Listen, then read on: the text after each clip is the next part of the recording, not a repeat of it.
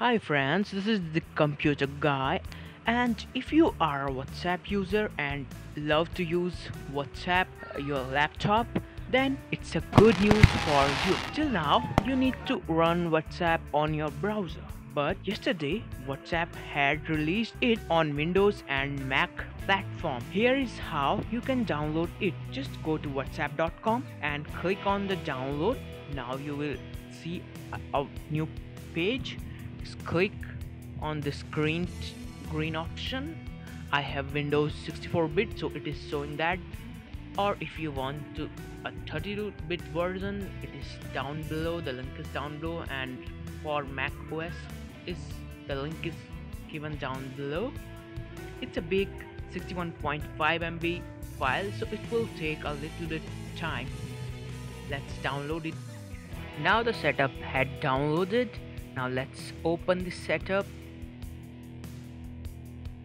Now this is the whatsapp setup for windows and it already installed just within a few seconds. Uh, this is the UI and it the same technique as like we use it on browser. Now I need to scan with my cell phone.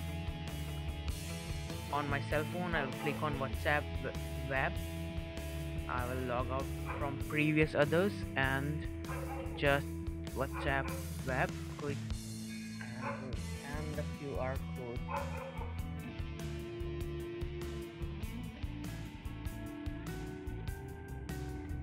Okay now it's taking time. Yes uh, the software is this. Now let's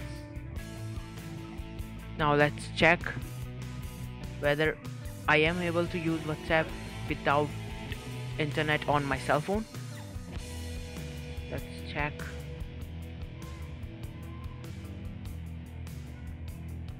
I don't think so. I need even I need WhatsApp online on my cell phone. Now I will make it online. Just check it all yeah the phone is not connected. I mean same here you need to connect the phone.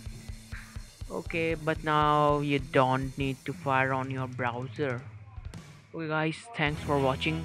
For more video like this just click on subscribe hit like and goodbye